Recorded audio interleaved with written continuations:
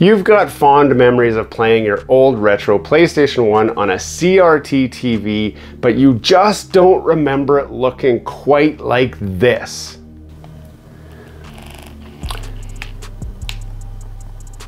So yeah, I'm talking about all these little jaggies on here and all of these like that. I don't remember that looking that bad.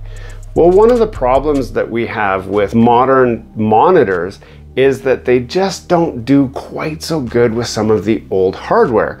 The old hardware actually leveraged the fact that CRT TVs were just not that clear. So these sharp edges you would see here right now and, and those and, and even some of this texturing on the on the track would have actually blended in quite nicely to make a really sweet game. And you would have maybe even said, that game looks so real. And now you look at it and you're like, what? why did I think it looks so real? This looks really bad. Well, today we've got a product and we're gonna see if we can make our graphics look at least a little bit better.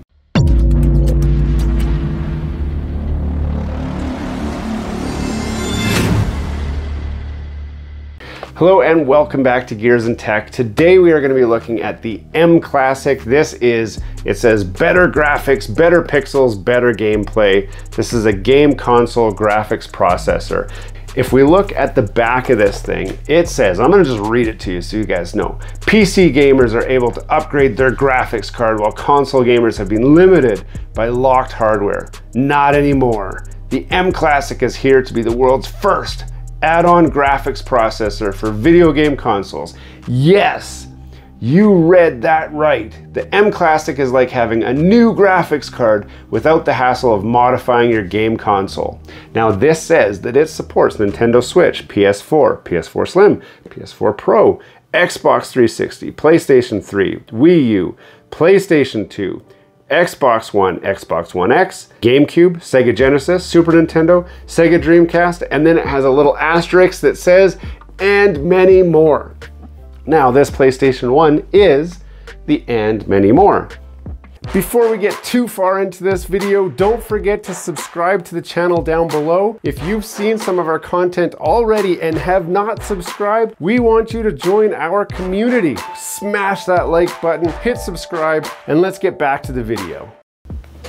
Now this promises to take your video signal from any HDMI device and make it better. That's what they say. That's what they say they're gonna do. So three modes of operation on this is processing off. So it just leaves it disconnected. It applies no visible changes to it. Process on, which is upscaled anti-aliasing and sharpness on and retro mode, which is optimized for retro games. Now, for me, when I think of the PlayStation 1, I think of two games. I think of, well, actually I think of three. I think of Gran Turismo 2, always. I think of Tony Hawk's Pro Skater 2, again, always, and I think of Cool Borders 3.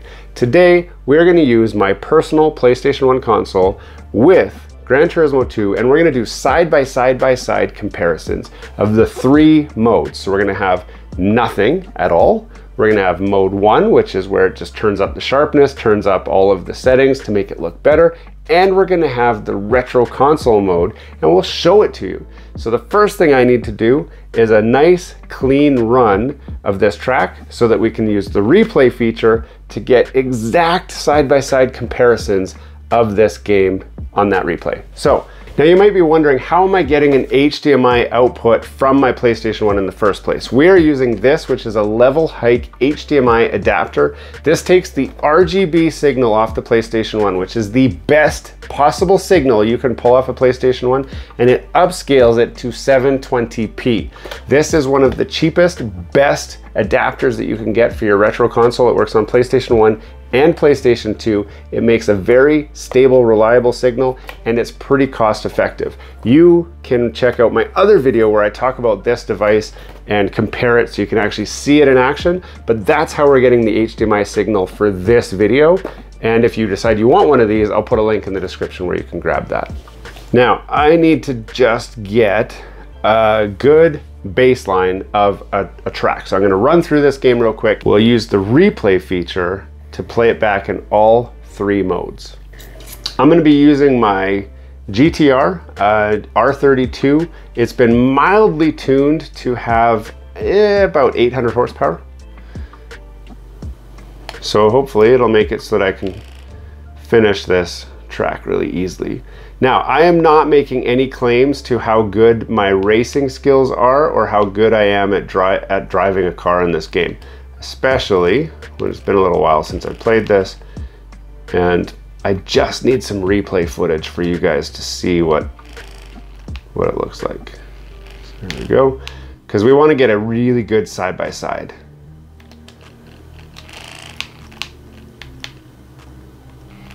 Yeah. Look at that. I'm so good at this game, I'm gonna like win.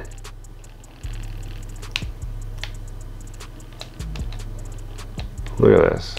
Even though I totally wiped out, these guys got nothing. Nothing on me. Now that I've got a good, super clean run finished off, we're gonna save the replay and we're gonna sync up the video so you can see side by side by side of all three modes on here so that you can decide for yourself if this graphic enhancer is really helping at all and if it's worth it. This is about a $100, so it's not cheap. Is a $100 worth it for this? It's hard to really tell, which is why I wanted to give you that side-by-side -side comparison. So while we're grabbing the replay footage to compare, it's time to pull out the M Classic and see what's in the box. So if I go like this, you guys can see right off the bat, oh, what do we got? I'm gonna pop this off. There we go. So we've got obviously the M Classic. Now this is a pretty interesting device. It has an HDMI input, so whatever what this would plug into. So it intercepts the signal to the monitor. So you unplug the monitor, plug it into here, and then this end would go into the monitor in its place. That inserts this in between the signal and it's what boosts that signal up. It also has a micro USB power adapter because this device does need to be powered up. And then we've got our little toggle switch on the side. So on the far left side is off.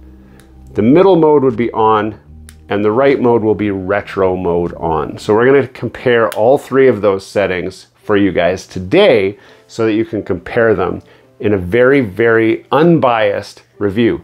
I will also say, and I should, normally I say this at the beginning of the video, I bought this with my money. I, I went and I paid for it.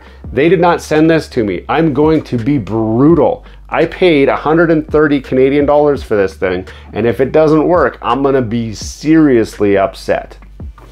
Now it also comes with this, it's a red micro USB cord for powering it up and it comes with, okay, actually that's all right. So this is a US, USB, it's an HDMI dongle, which makes it uh, pretty easy to use without it being really rigid. So now that we're ready to, to play the replay with the modifications on, we need to hook this thing up. So let me go like this, get this guy out of the way. And it's very simple to hook up. All we got to do is unplug the HDMI signal from here. This guy plugs into it like that. So this is now the, the HDMI coming out of the PlayStation. And I plug that in and then need to power this sucker up. Then as soon as we power it up, the enhancements will be on. Before we go into the replay, let's actually just see if we notice anything on the spinning car. So right now this is enhancements turned off. So now let's turn the enhancements on and we just wanna see, does the car look any smoother or any cleaner? And so all I'm looking at is side of the car here is kind of, see how as it comes around, it's got angled textures to it, especially around the window and on the side of the car. It looks like it has less lines to me. Now let's check the retro mode. Okay, so this is supposed to be retro mode friendly, but let's watch the car spinning around in all three ways. Now that you've seen the spinning car, let's go to the actual race feedback and see what that looks like between the three modes.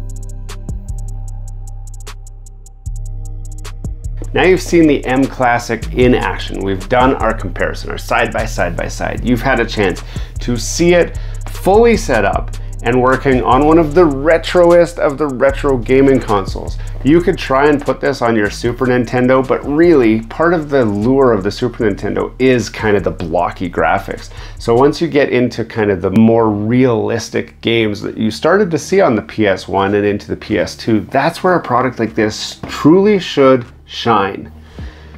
But I have to say, I'm kind of a little bit disappointed. Like, I see what they're trying to do. Maybe I expected too much, but when I compare them, when I look at them, I just don't see enough of a difference. I'm not seeing it. And maybe I just used the wrong game to try and demonstrate this product, but what did you guys see? Put in the comments, what did you see in the side by side? How did you feel this was? Keep in mind, this is a $100 product. Like, is it is it really $100 worth?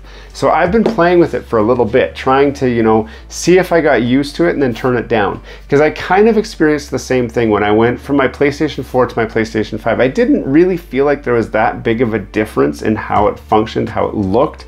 But after playing the PlayStation 5 for a few months, and then going back to PlayStation 4, I could feel the difference at that point. I could feel the drop in the frame rates. I could see the visual quality was a little bit lower.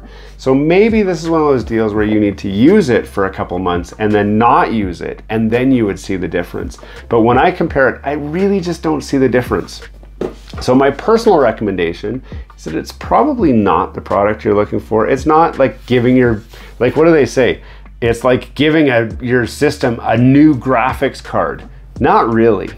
Like, not really. I have some ideas though, and this is where Gears and Tech predicts the future. Now, those of you who have seen this channel before, you've watched some of my other videos and you're like, holy crap, Gears and Tech is a visionary.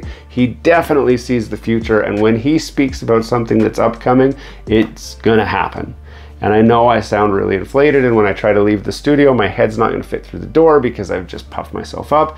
But there's some new technologies that have come out. DLSS, we're on, I think, 3.0 right now. If you don't know what that is, it's uh, NVIDIA's frame enhancing technology where they can take a low spec image signal and boost it up and make it look really, really good without a lot of extra processing power.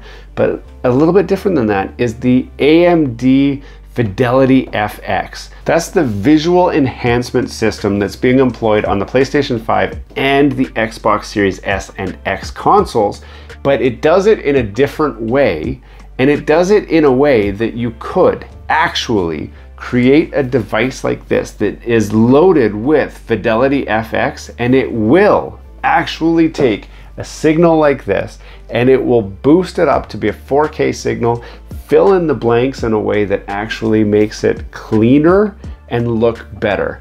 I think these guys, they've been out for a few years now, the M Classic, a Marseille company. They've been out a few years.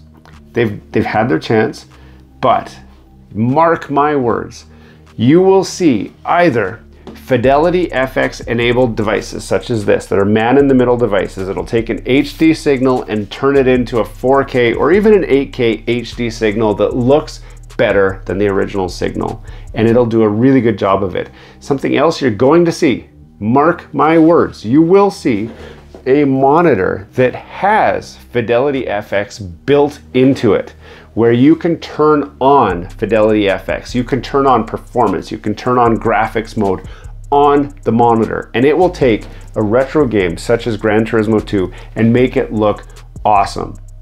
How awesome? It's hard to say. When that comes out, I will try and get my hands on it and test it for you. But I promise that technology is coming. And because we're kind of a little late into the game with this guy, if you don't have one yet, just wait because those new ones are gonna be awesome.